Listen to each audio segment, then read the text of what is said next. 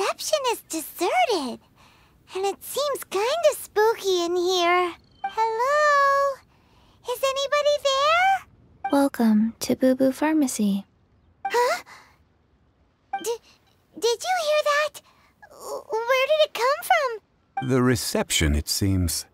How about you go check it out, and Paimon will bring up the rear.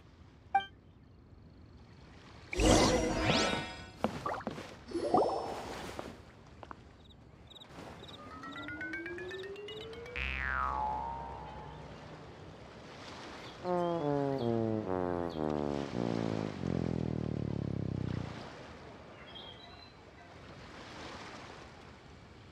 there you are. But you can't even reach the counter.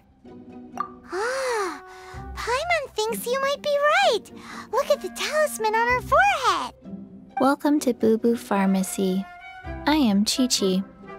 Once upon a time, Qiqi died. Then, Chi Chi was saved by the Adepti. Now, Qiqi is a zombie. Something like this would be unimaginable in Mondstadt. Uh, hello, little girl. Do you sell everlasting incense here? Excuse me, sir. Did you bring your prescription? I. Surely no prescription is needed to purchase everlasting incense. It's not a controlled substance. Qiqi can get your medicine, but only if you show Qiqi your prescription. These are Qiqi's orders from Qiqi. I'm afraid that she's probably right. It's to do with her orders. Zombies are limited to acting within the confines of their orders. And somehow, in this case, the zombie issues her own orders to herself. My dear Qiqi, we didn't bring a prescription, I'm afraid. But we do hope that you can still help us find some everlasting incense. Okay then, How did you manage that? but Qiqi helps you. You help Qiqi. Only fair. Since when do customers need to do favors for customer service staff? Never mind. Just think of it as a peer-to-peer transaction. That way, everybody wins. Sometimes in Liyue, the art of the deal is simply about victory via mental gymnastics. Go to Mount Tianheng, find the Guizhong Ballista, and hunt a cocogoat. Please and thank you. I don't believe so. The Guizhong Ballista, at least, I have heard of before. It's a kind of crossbow turret, installed on Mount Tianheng by an adeptus in the distant past, an early mechanical device. Located in Tianheng Pass, it was designed to automatically fire at large monsters, protecting Liyue from external threats. Mr. Zhongli really knows Liyue inside out. Apparently, not quite. This is the first I have ever heard of the Cocogoat. The cocogoat is a legendary animal, an adeptabeast. Did you want to add anything else, or...? No, just that the cocogoat is a legendary animal, an adeptabeast. What it looks like, don't know. Where to find it, don't know either. Where it came from, also don't know. Very well then. Let's start by investigating near the Guizhong Ballista. Perhaps we will find some clues. What the heck is a cocogoat?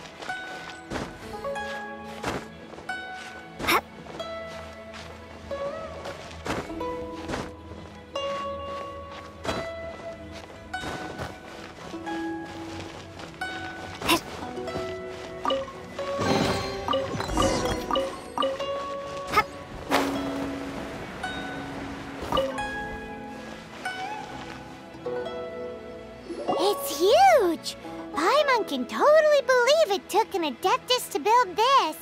But how do you operate this thing? Just think how much strength you would need. Hmm. It is currently inoperable in any case. This device is broken. Aw, what? It broke? After millennia of wear and tear, even Adepti contraptions are difficult to maintain. So what are we gonna do? Quick, Mr. Zhongli, use your unlimited high society knowledge powers! Hmm. You almost make it sound like I'm some sort of bourgeois parasite whose only utility lies in providing quaint pieces of trivia on demand. That said, let me think for a moment. Ah, yes. Spare parts were made for the Guizhong Ballista when it was first built, in case it was damaged in battle. As I recall, there is a military supply post from that period somewhere inside the pass. If we can retrieve the spare parts from where they are stored, we may be able to repair the Guizhong Ballista. One just needs to understand the basic working principles of the device. So, what you're saying is that you actually understand the working principles? I have a smattering of knowledge on the topic. With the parts in hand, I could at least tinker with it.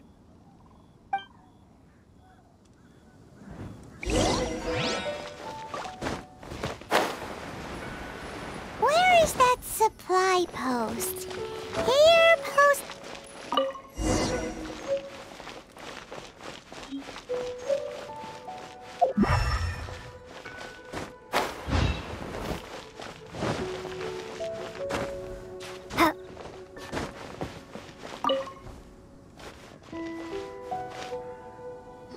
Ah, these parts look useful. One moment. I will try to repair the device. It is done. The Guizhong Ballista is more intricately designed than I thought. Ooh! Now how do we turn it on? It's easy enough. We simply need to do this. Look, it even has a scope. Over here we have... nothing. And over there... more nothing. Hey! Just what do you think you're doing? So you fixed up this turret because you're planning to do what, exactly? Not a turret. A Guizhong Ballista. Also, kindly state your name before you ask a question. It's just good manners. Ha! Are you blind or something? You're looking at the leader of the treasure hoarders, old man. This area's supposed to be chock full of hidden treasures, but you can't get anywhere near them with this thing keeping watch. it might look like any other mechanical device, but trust me, it's got a mind of its own. Last time we approached the mountain, it nearly skewered one of our guys. A few of us risked our lives to disarm it, which amazingly we managed. And then we turn our backs for two seconds, and you've already gone and repaired it! The next thing you'll be repairing is your faces! And that's if you get out of this alive! Tut tut. Vandalizing the legacy of an Adeptus for selfish gain. Disgraceful behavior. It is not we who need reprimanding, but you.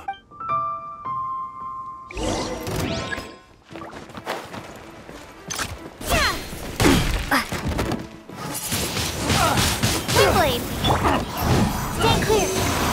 Animal test 6308! Good.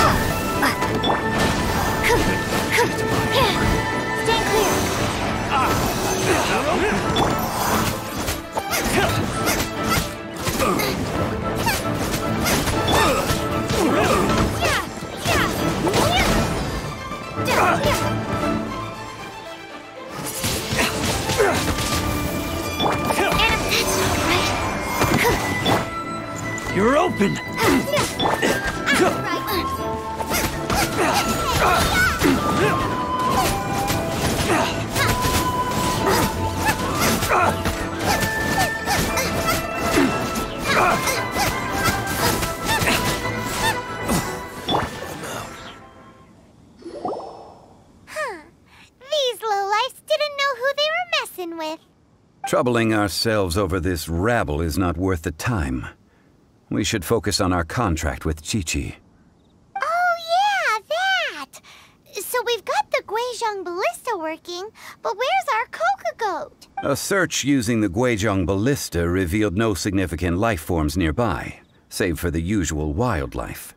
What's more, a contraption built using Adeptus technology should have no trouble detecting an Adeptabeast, as Qiqi put it. Ah, which means. A Paimon wouldn't go that far. We did something positive, right? We won't solve anything while standing here and racking our brains. Let's return to Bubu Pharmacy, explain that we could not find a Cocogoat, and review our next step. Good idea. We did our best, and that's what counts.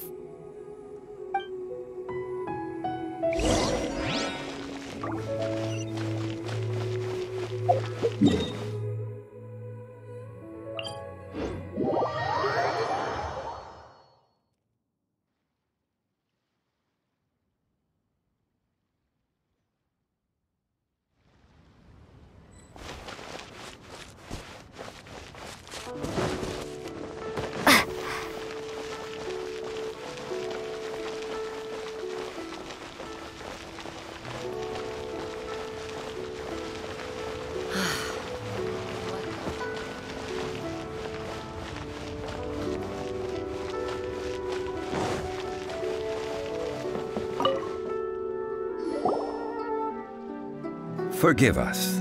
We were unable to fulfill our end of the contract. We found no trace of the Cocogoat Adeptabeast of which you speak. What a disappointment. Don't worry about it. But I feel very disappointed. Aw, poor Qiqi. Why does Paimon feel so guilty all of a sudden? Cocogoat milk is tasty. So tasty. Much better than normal goat milk. Only an Adeptabeast could make such tasty milk. I'm sorry. I have a poor memory. I cannot remember the name of the milk. That's why I wrote it down. Where did I put it? Ah, here. This is the name coconut milk. Huh? I owe you both an apology. I hastily agreed to what appeared to be an equitable agreement with this zombie child, when perhaps I should have undertaken further due diligence. Zhongli. You didn't know. As the Liyue proverb goes, all things are random and. Um. So, how are you supposed to predict anything? Literally, no one could have seen this coming. Excuse me, everyone. Did Qiqi say a bad thing? Oh. Sorry, but Paimon's gonna leave the job of shattering this poor kiddo's world to you. No. Im. Impossible. Seems Qiqi took this pretty hard. Someone learnt a valuable life lesson today, then. Thank you all for looking after my little Qiqi. Might I ask who? Ah, how rude of me. I'm Baizhu, boss of the Bubu Pharmacy. Chi was the boss. Turns out it's some wacko who wears medicinal ingredients around his neck. What a sorry state of affairs. This little mascot is even more of a simpleton than Chi Chi. Ah! The medicine. The snake is speaking! I prefer to stay silent. but faced with strangers, I must speak, lest you mistake me for an escapee from the medicine cabinet, for I am a living, breathing serpent. Don't mind Changsheng. She's a good girl, really. As for you three, communal chaos causing with Qiqi aside, what business brings you here? Do you sell everlasting incense in this fine establishment? Everlasting incense? Why, of course we do. Whew, at last. Things are finally starting to come together. Three million mora. Top quality. Guaranteed. As well just rob the Golden House. Oh, but the Qixing have taken it over for now. Security will be tighter than usual. Hmm. Three million. An innocuous number in and of itself, though practically speaking, it could be a hard sum to come by. It's a crazy number. We'd never be able to make that much Mora. And as for Mr. Zhongli, he's around three million short. This is correct. What are we gonna do? Is this the part where we go crawling back to Childe?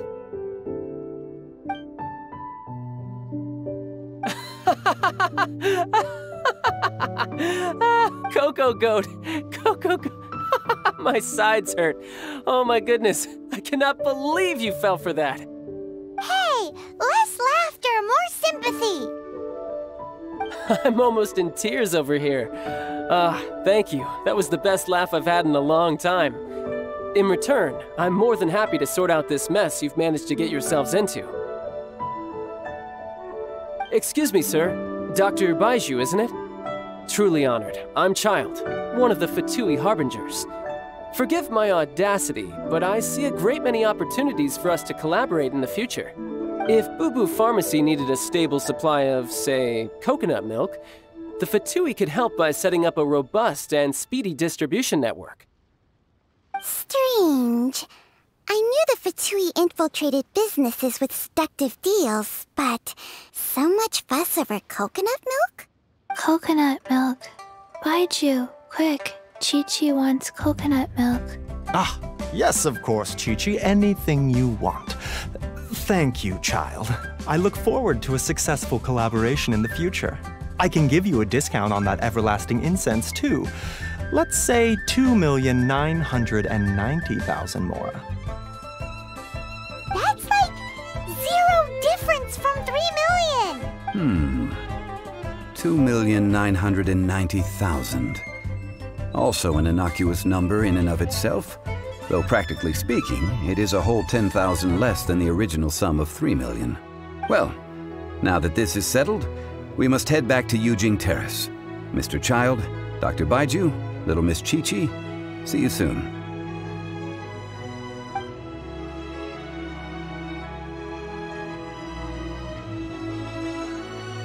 Ah, that lot is an absolute riot. Honestly, I can't remember the last time I laughed so hard. So, you've been eavesdropping, I hope. What have I missed? Yes, Master Childe. They spoke of the Qixing taking the Golden House. Well, well, well. Ningguang and her Qixing cronies. What else would they be hiding in the Golden House, if not the Exuvia? I apologize, but I warned you, didn't I? As the old Liyue saying goes, the walls have ears.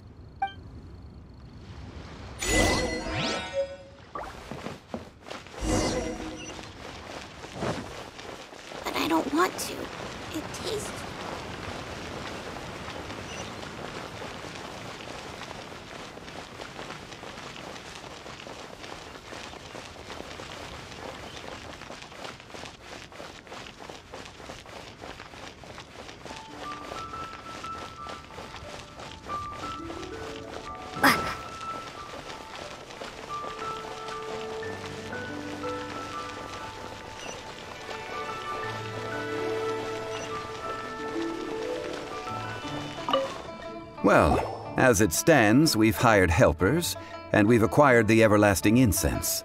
The completion of our preparations is not far off. Finally. Well, traveler, have you gained anything from our adventure so far? Odd.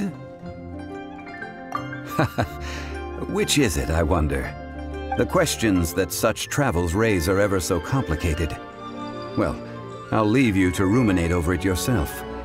As to remuneration for your help, I've decided to treat you to a meal. Oh, ah, yes, don't worry. I will remember to bring the Mora this time. Tonight, I shall take you both to an old hole in the wall, praised throughout Liyue. Hole in the wall? As in a cool restaurant? Indeed. Let us meet near the harbor, at third round knockout.